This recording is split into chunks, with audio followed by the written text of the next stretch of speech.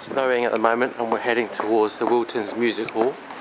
Um, not sure if we're going to be able to film, but we'll ask them, see what they say. Oh wow, look at that. You say original features. Looks derelict. Your favorite word? Uh, Wiltons. Where's the main door? It's a bar. Oops. I think it's the, the double doors, my dear. The double doors on the other side, over there. Oh look, they have the original um, olden reward. Wow. I think it's dead. Uh, you better be dead. It's only hundred dollars. It's not worth it. I'll go in there. Oh wow.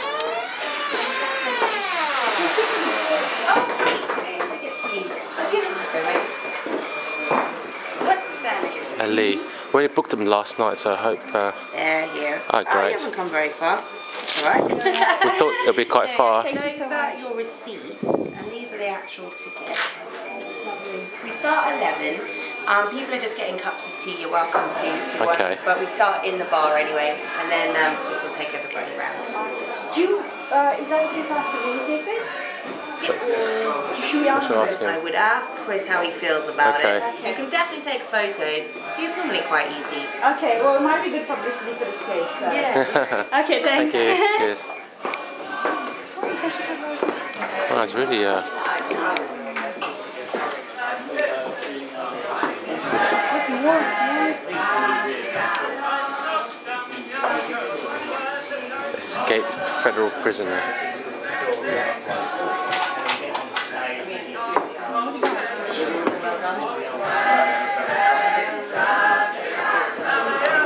He's even dressed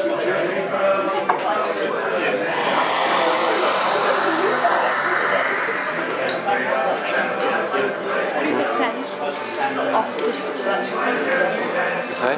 forty percent of this building remains unsafe. They're trying to raise two Unsafe? point. Two point two million. They've only got four hundred thousand pounds. Safe to be here then.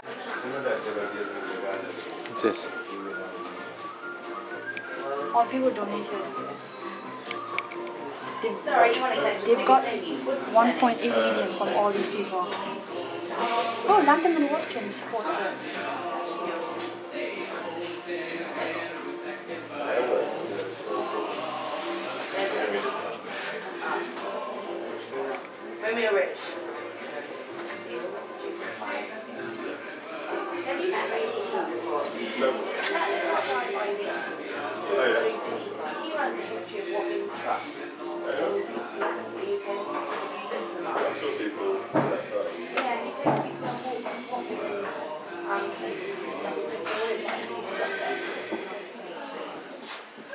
Your books? Sensational shrubs. not quite lovely. Got, Cigarette package.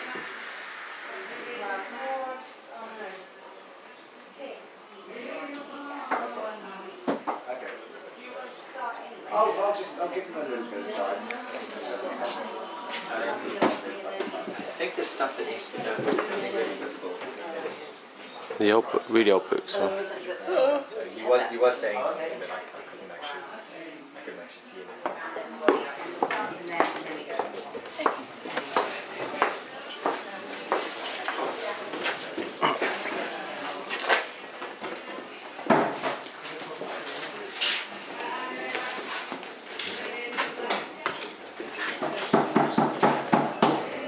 Would you like to buy one for me?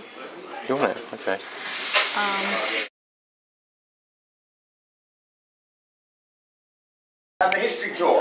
Uh, I always like to start off with an apology. Okay, I know it's probably not the most professional way to start a tour, but I'm going to apologise for the fact that I'm not the full-time historian here. Okay, we do have a full-time historian. Her name's Carol. Uh, she knows everything there is to know about this building and some. Um, I have been taught by Carol, um, but the stuff that I don't know, I tend to just wildly make up. Okay, so I would urge you at the end of the tour to grab one of these. Uh, they can be bought from the box office over there. Uh, it is Carol's uh, little history booklet that has all of the facts exactly correct and uh, to the button with the years and everything on there. Um, I'll try my best though not to just go off making up stories and stuff. I'll do a little dance or something at that point so that you know that I'm lying. Some of this building, as you can probably tell, uh, very, very old indeed. Uh, some of it is very, very modern, um, including this, uh, this little bit of plywood we've got here. That's got an Acrow prop inside it that uh, is, in fact, actually holding upstairs up. Uh, so it's been propped up by, uh, by something modern holding up something very, very ancient there. Uh, and we, we keep the building in this century. It's acquired a new name, which is the name that we still have today. It's the Mahogany Bar. And that is because it was reputedly the first bar in London to install a mahogany bar and fittings, uh, perhaps paving the way for the style of the old English pub uh, and all those wonderful theme bars that you go to, like the Dickens down the road. Don't go there. it's not original. Wait. This is the real deal. Uh, whether or not uh, this was the first pub to install a mahogany bar and fittings. We don't know. By the way, we don't have that bar anymore. Uh, this one that we've got here uh, is, is plywood, uh, a little bit of MDF and some plaster on the front.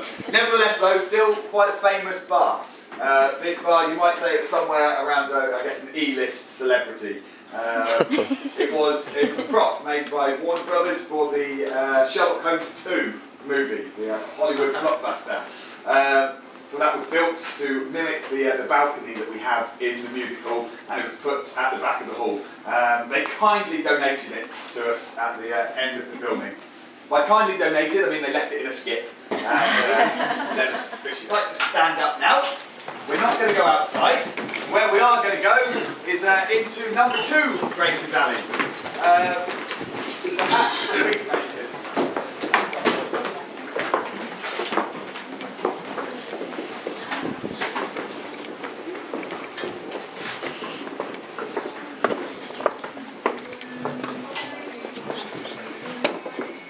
And there we go, there's some sea shanties for you playing in the background. Reminiscent of the past. Very nice, and that it's uh, because we've got the two systems now. It's still behind that. It's fine. I, uh, I think it's nice. Yeah. Uh, okay, so here we are. This is number two, Grace's Alley, and this is the entrance hall to John Wilton's Music Hall. Structurally speaking, this uh, part of the building is very much the same as it would have been back in John Wilton's day, uh, except for the fact that, of course, there would have been plaster on the walls all around there. Uh, that was stripped off sometime in the 1970s when they were worried about dry rot uh, in the building. It was at the same time the building was getting listed. I think the idea was you don't want to list a building that's got dry rot because it's probably going to fall down in a couple of years. They didn't find any dry rot, but they also didn't put the plaster back on the walls. Uh, the building's now been listed, uh, and so if we wanted to put the plaster back on the walls, we wouldn't be allowed to. but it, uh, it does look really awesome. Uh, we like it, uh, and these are the walls which people do enjoy when they uh, they come to Wilton's Music Hall. There are hundreds of restored Victorian theatres. Uh, all, and Victorian buildings all around the country. Um, we what we've got here is a uh, uh, well a very very unique and characterful building. If you came to Wilton's Music Hall, uh, you would be offered either an upstairs or a downstairs ticket. Uh, if you were uh, here with your family or a, a, well-to-do gentleman, chances are you were heading on through the doors there for an evening of light entertainment. Of the musical variety. However, if you were a sailor on shore leave, or maybe a, a young gentleman from the West End coming to sample the more exotic delights of the East End, uh, then perhaps you were going for an upstairs ticket where you would take your pick of the girls and head up for an entirely different evening of entertainment. Uh, but of course, there would be somebody there to make sure that the entertainment going on upstairs in no way affected the entertainment going on downstairs. At this point in the tour, I would usually go, right, so upstairs or downstairs, people? And we'd all head off downstairs and we'd go through there because I know the sort of people that you are. Uh, unfortunately, we're set up for uh, the Great Gatsby show there, so we're going into the hall via the balcony, so it's upstairs for everyone. Hey! I want to be one of the girls. Cut through the whole thing. You can see this all laid in stone.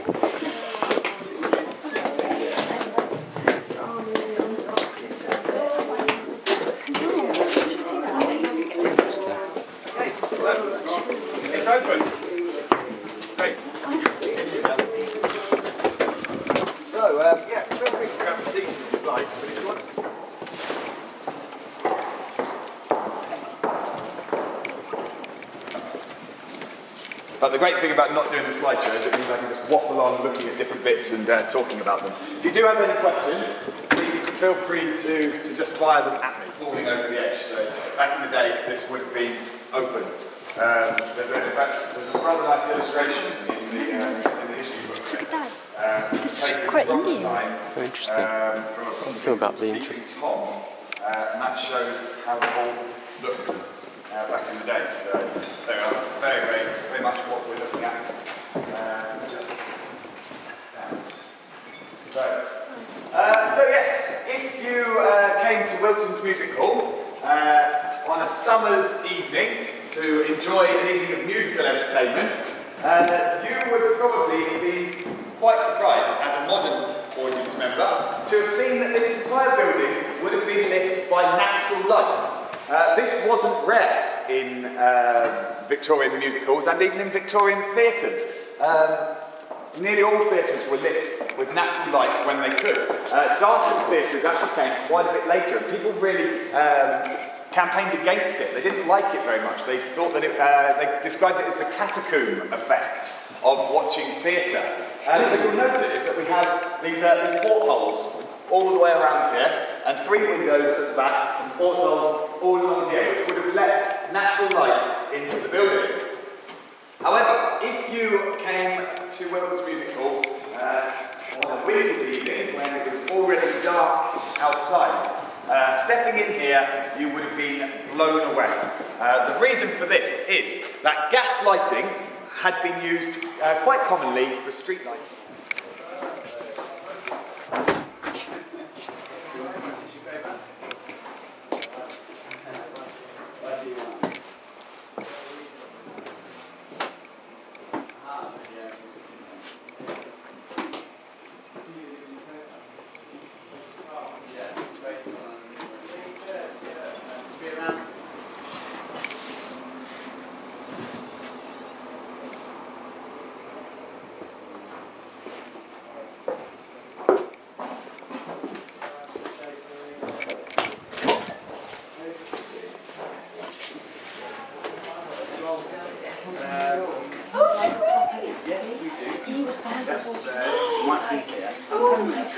You guys, you gotta come get me my daddy. Should we go see the Gat- Gatsby? At some point. What do you think? And Should we go to do it now? Okay. Quite interesting, wasn't it? Sorry. Whiskey goes to Bobby Shire. Thank you. Down the boys.